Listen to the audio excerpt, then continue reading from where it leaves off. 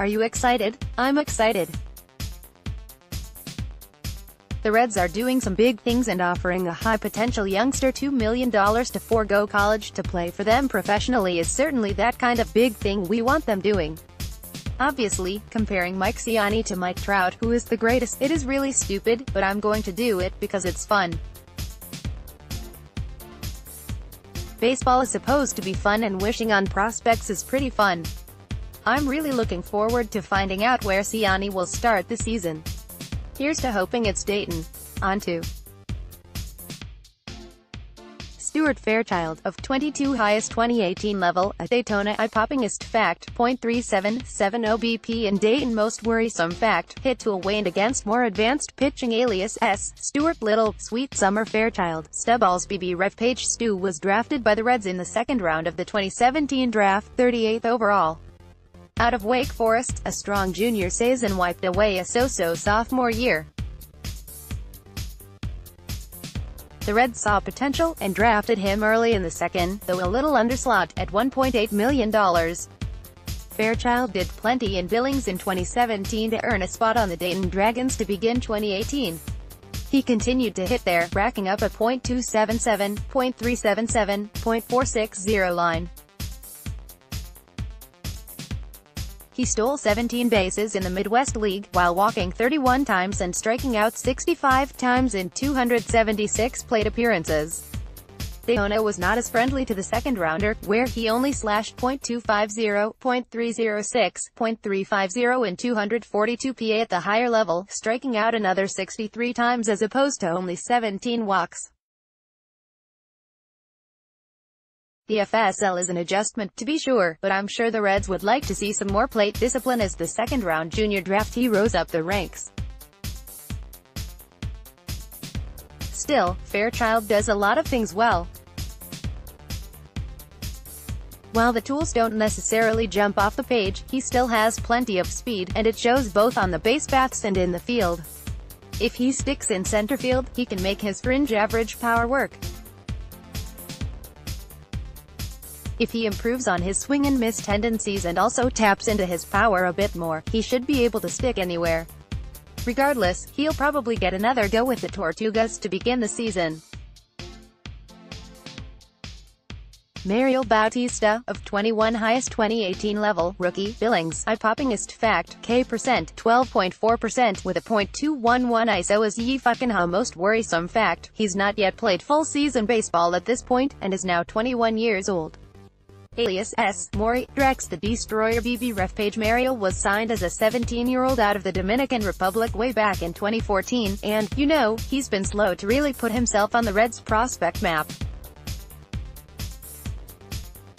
He's done so now. Mariel's jumping in here because it's worth it, based on what little we've seen.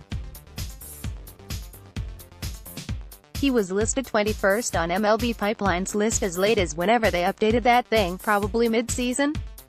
He got 233 PA as a 20-year-old at Billings this season and hit 8 HR with a .330, .386, .541 slash line. That's right in line with a .300 average for his pro career, but he finally tapped into his power in a meaningful way, bopping 24 extra base hits as well. The athleticism put him on the Reds' radar to begin with. At 6 feet 3 inches and a frame to build on, with what's reported as speed for days, he seems like the Reds' next 5-tool C player to dream on.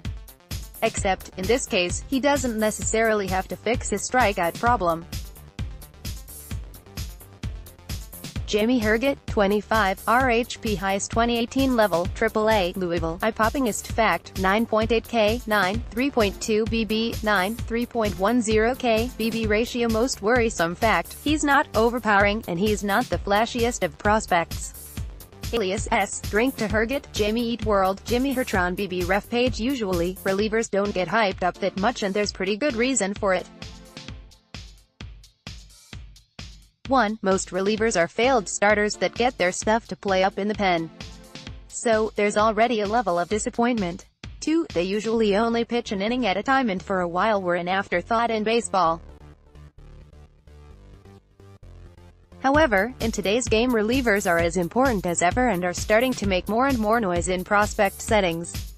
While many of the Reds' reliever prospects haven't really panned out, and we've watched them get slammed in major league games, Herget looks like he could be a guy that busts that trend.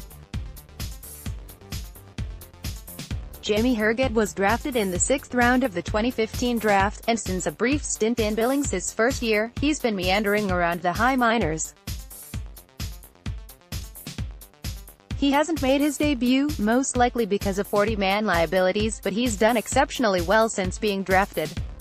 The difference between Herget and a lot of pitchers is that Herget was drafted as a reliever and the Reds actually didn't tinker with him.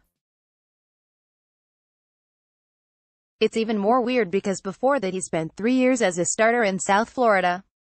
He's reliably pitched 60 innings a year while putting up good peripherals and getting guys out. Herget has a fastball that reaches 97 with good control and he can throw it from three different arm angles. This is deadly for a reliever because batters already have so many limited looks at you that it ups the deception factor dramatically. He couples that fastball with an above-average slider that he uses as a put-away pitch and a below-average changeup that he uses to keep hitters honest. To be frank, it's probably his lack of a real third pitch that kept the Reds from trying him as a starter. With all of those different arm angles and a herky-jerky motion, Herget can cause some serious headaches with hitters. There's a real good chance he starts the year out of the pen with the Reds. Keury Mella, 25, RHP highest 2018 level, MLB, Reds, eye-poppingest fact, 3.00 era across 108 AA and AAA innings, 8.4 K, 9, 3.1 BB, 9 most worrisome fact, he's gotten destroyed at the MLB level, slow development, and can he start? Alias S. Hella Mella, Mellow Yellow, Hot Keury BB ref page It feels like this guy has been around forever, and he kind of has.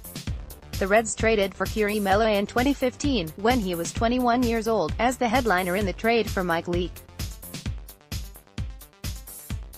Adam Duvall was more of the throw-in afterthought until he started bashing the ball. Mella was the Giants. Ever since, he's been toiling around in the Reds minors where he shows flashes of brilliance and at other times frustration. To be honest, I was unsure about adding Mella to this list even at this point. However, the experts have him slotted around this spot so I'm going to err towards their expertise. Mella is a power pitcher with a hard mid to high 90s fastball, an above-average slider, and an average changeup. While that all sounds real nice, he often has problems locating those pitches and can lose his control completely. This tends to lead to higher walks, and in his case getting smacked around a bit too much. Even then, his superior stuff hasn't always translated to great strikeout numbers. Ella has helped out the Reds the past two years by coming up when the rotation and or the bullpen was short and proving so much needed relief for the parent club. However, most of those outings were disastrous for his final line and put some speculation into some as to whether he's really got the stuff. Still, scouts are pretty high on his arm even if there is more belief in him being a reliever. With the recent moves the Reds have made, and the short time they have to control him, it's very likely the pen is his new home. Based on his 2018 minor league season and that stuff, there is a still reason to believe he could reach that potential of mid-rotation starter. 0%, 0 votes, 0%, 0 votes, 0%, 0 votes, 0%, 0 votes, 0 votes total vote now.